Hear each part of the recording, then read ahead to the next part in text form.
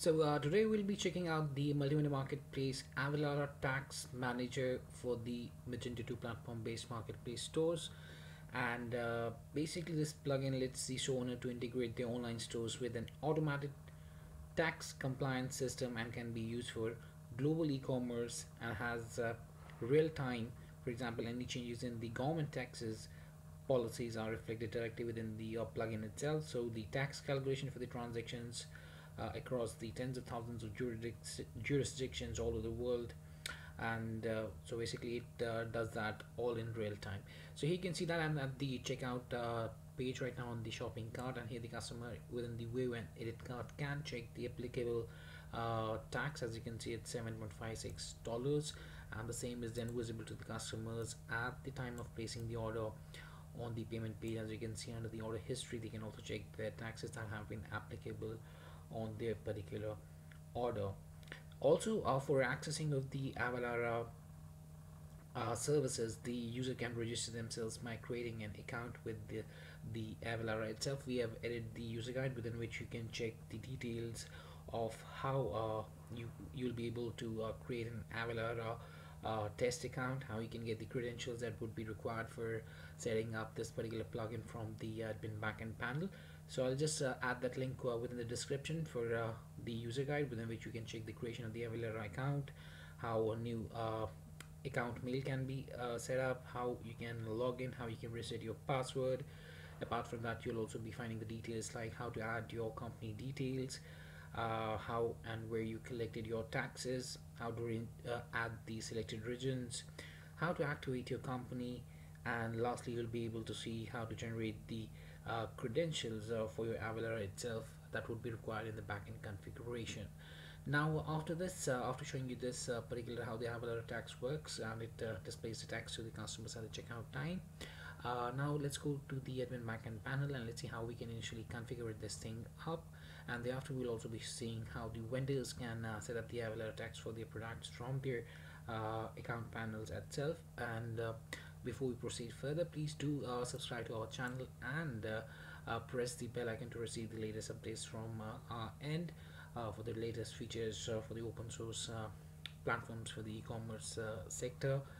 So let's hop onto the admin backend panel and let's see how we can initially configure and set up the Avalara for the marketplace itself.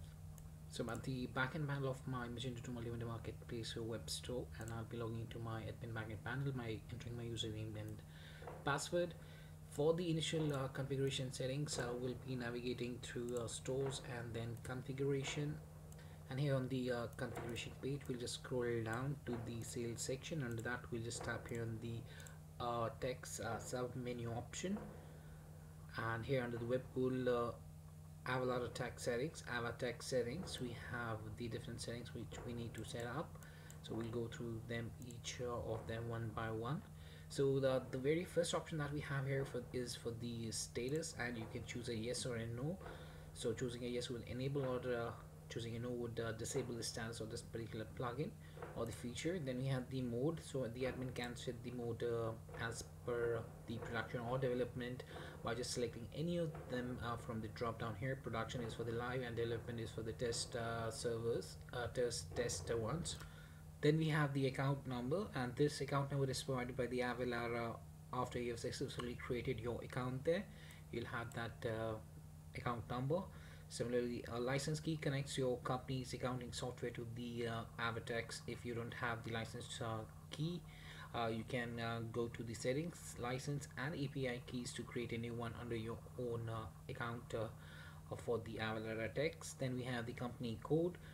And you can check your company details by logging into your Avid Lara tax dashboard and going to the settings and then company details and if you'll find your company code.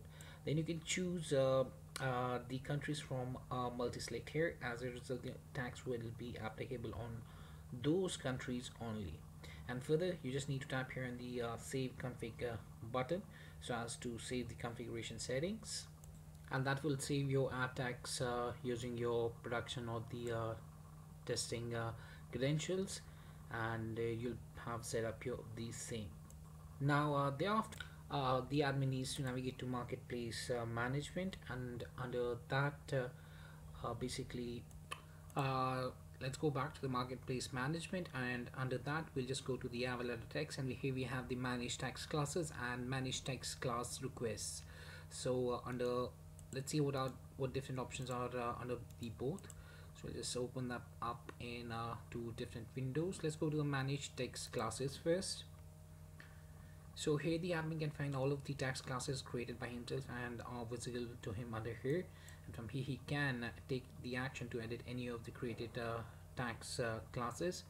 Apart from that to create a new one he can tap here on the create new tags class button and that brings up the new product tags class section where he can set up the uh, class name as uh, test 45 for example and we can choose the avalara tax code uh, for that uh, particular so we just need to enter the uh, tags code. For example I'll set it as food. So we can choose uh, depending upon the tax code that has been shown up. So here we have the food and ingredients appetizers so for this uh, class name we have the other tags code as food. And let's tap here in the save text class and the class would be saved. Now apart from that uh, the admin can also uh, uh, what we say as here we have our new text class that we just created. We can tap on that to edit that as well. And here we can see the class name that we had set. We can change that up as well. And we can also change the avalara tax code that we had applied to the same here we have and we can also now change it uh, as per own requirement there. We can enter the avalara tax code to search uh, for the particular tax code to apply to this particular class. We can also delete a class by tapping here on the delete class otherwise to go back we can just tap here on the back to list after editing the product class that we've just created. Under the manage tags classes that's under the marketplace management and under avalara tax we have manage tags classes. Now let's go to the manage tags class requests now let's see what different uh, things are there.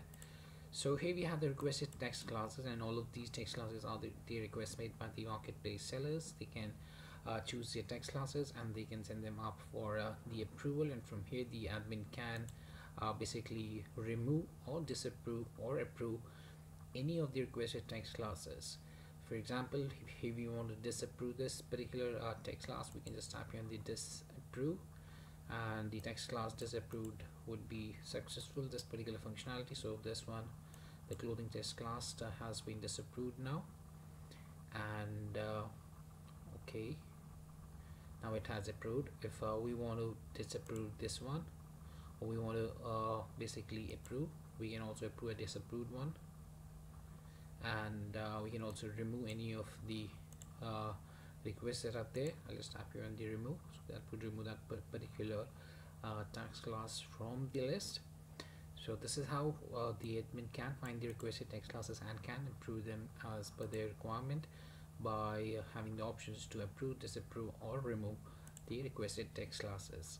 Now let's see how, uh, how we can implement the text classes on the product. So for that we'll just navigate to uh, catalog and then uh, products for the admin.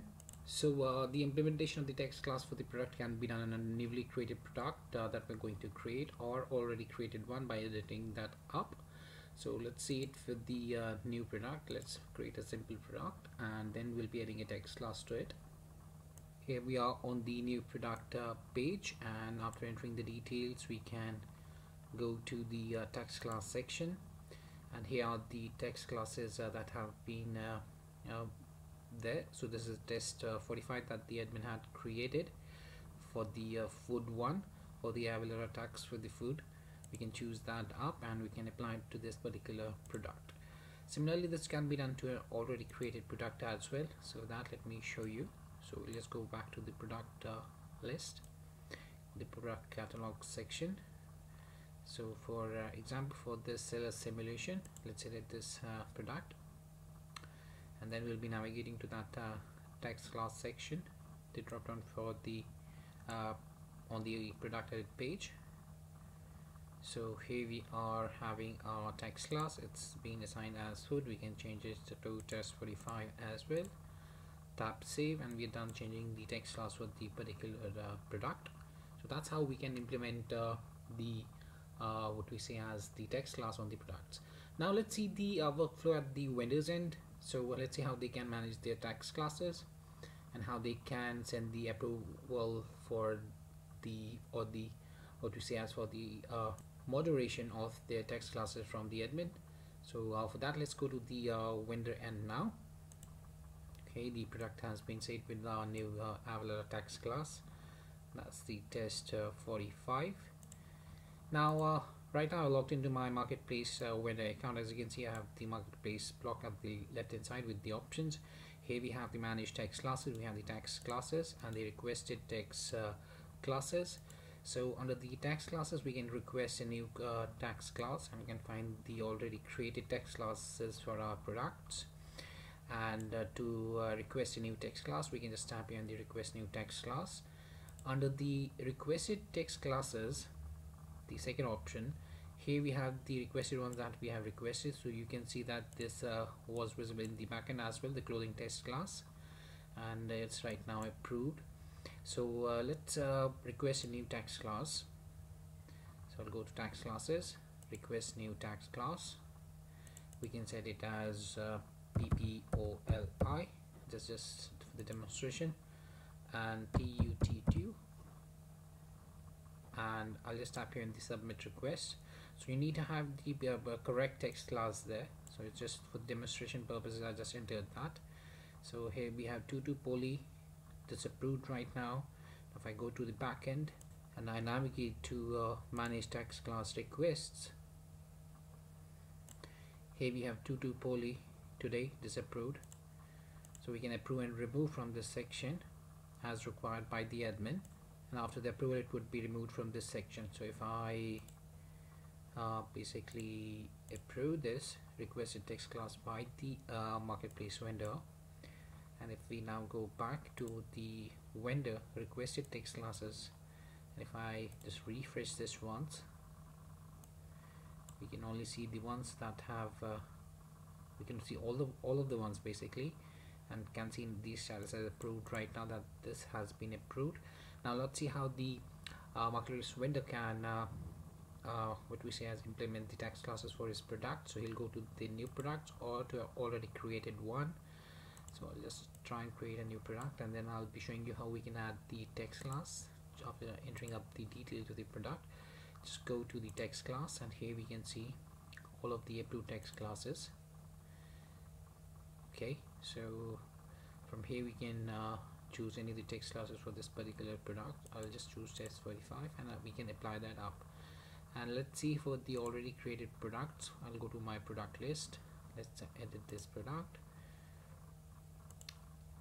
And uh, on the product edit page we'll just scroll down to the text section for this uh, product.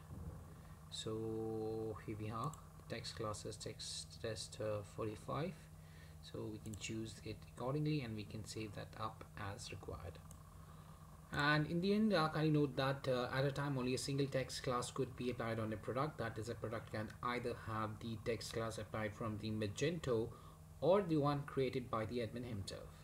So uh, that was much about the video and please do give it a thumbs up if you like the video. And uh, if you have any questions queries suggestions or requirements then kindly reach back to us at support at the you may raise it again at webkul.uvdesk.com and uh, thanks for watching this particular video and have a great day ahead